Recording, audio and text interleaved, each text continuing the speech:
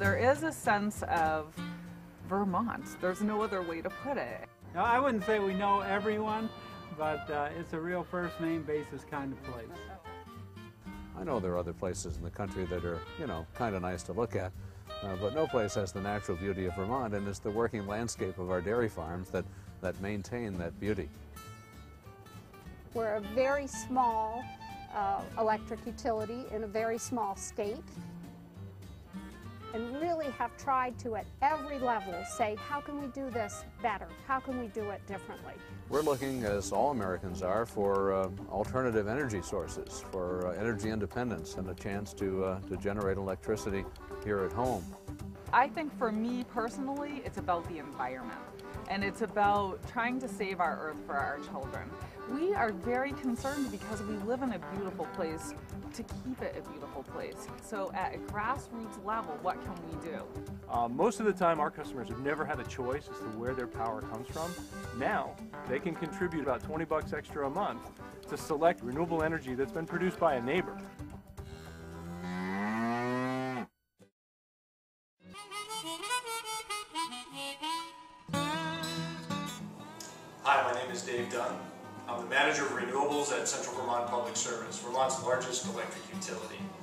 My role is to work with customers who want to build renewable energy projects. And today I want to talk to you a little bit about Cow Power and how those projects have been developed here in Vermont. I'd like to use this graphic as an overview of how the process works for the farm. The first step in a four-step process is waste collection. On a dairy farm with animals, there's manure, animal waste, as well as the waste that's collected uh, from the rinse water and wash water of the milking equipment. That is all collected and passed on to the next step. The next step is called manure digestion. An anaerobic digester collects all the waste from the farm, from all the animals and all the processes. It's going to break down those wastes continually beyond what the cow will do. That waste, as a byproduct, creates biogas, which includes a very useful gas, methane. Methane is used as a fuel in the next step of the process. The next step, making electricity. Using the methane in the biogas to run an engine. An engine very much like the car or truck engine that you have that's linked to an electric generator. That generator produces more than enough electricity for the farm to use and has a greater benefit for the community. That generator is connected to the grid, and the grid distributes that power to local communities. The last stage of the process is separation. Manure separation takes the effluent from the digester and incorporates a screw press to create the liquid portion that the farm will continue to use as fertilizer, as well as the solid portion. That solid portion is used to replace sawdust for bedding on the farm. The liquids are used after storage as needed for fertilizing hay crops or other crops on the farm to augment their growth. But as far as the community goes, the local community has the opportunity to sign up and support these projects through a direct contribution on their electric bill. Companies like Green Mountain College, Green Mountain Beverage, and cooperative insurance companies, they contribute a little bit extra to this farm through their direct connection both financially and to the grid.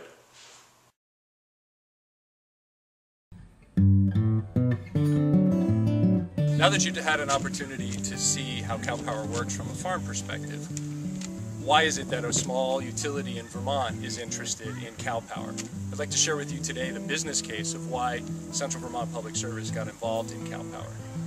We look at it from the three R's, renewal, reputation, and relationship. What does renewal mean for Central Vermont Public Service? It's an opportunity for us to do things a little bit differently and identify some value that makes sense for a utility. We wanted to focus on renewable energy in areas that weren't being focused on. Solar energy and wind energy seem to have their own champions. We decided that we would focus on a technology that made a lot of sense for Vermont, but it could also make a lot of sense outside of Vermont. We'll talk more about that later. Renewal was a chance for us to engage our customers. How do we engage our customers in new ways?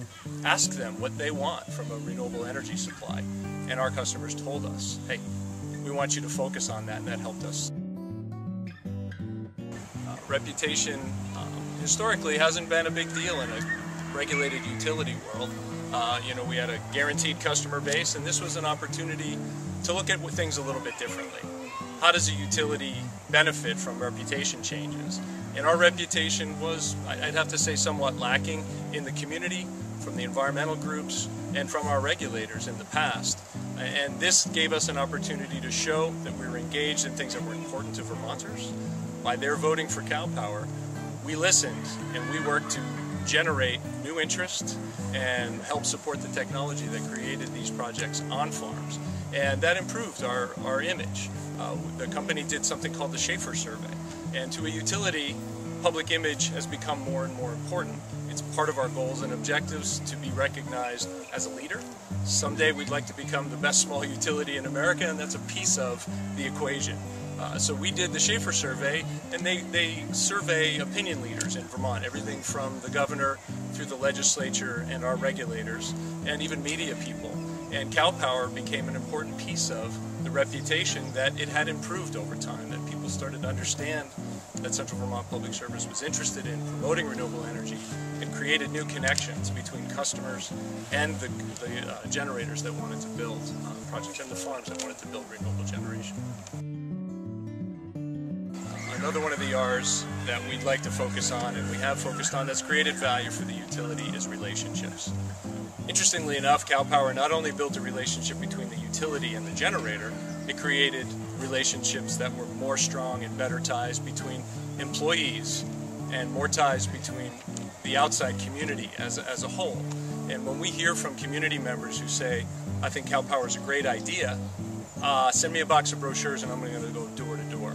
So CVPS is now looked at as an innovator, as a way to connect customers directly to projects that need a little bit of help. And those donations go directly to projects, like the Cow Power projects, to make things happen.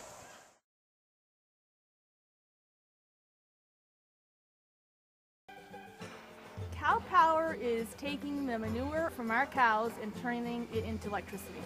It's a never-ending source of power, so it's renewable energy in the best form. Milk prices are up and down and all over the place, and I think a lot of farms are looking at, we want to stay in farming, we're committed, we have land we want to keep open, uh, we love the animals, but how can we make our farm better on the economic side of it? Our farm produces uh, 10 million gallons of waste a year. That's a lot of manure. The, the odor is horrendous. You can't expect someone coming up here from Manhattan to find it pleasant. It's not pleasant.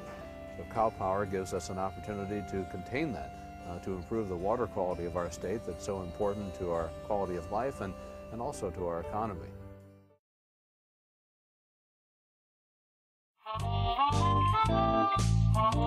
Now that you know a little bit about Cow Power and why Central Vermont looked at this as a business model, I'd like to talk a little bit more about the global perspectives. How do you take a little project in Vermont and expand it out to having more of a societal benefit? What started out on a Vermont scale as a project, I think there's a business case for expanding this nationally as well as globally. Nationally, there's an expansion to look at animal agriculture's connection to food producers and the waste produced by food producers that would deliver, be normally delivered to a landfill.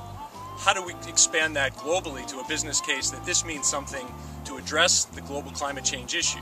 China, for example, is the leading emitter of greenhouse gases.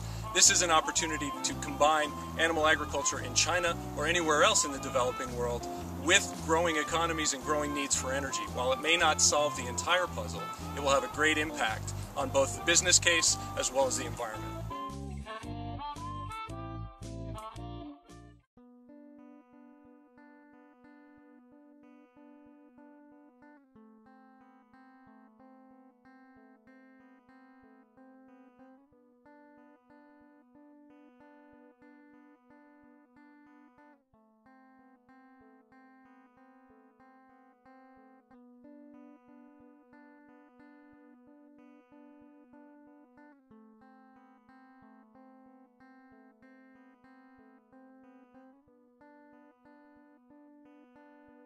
It's a model for helping the world community, and we think the timing is right.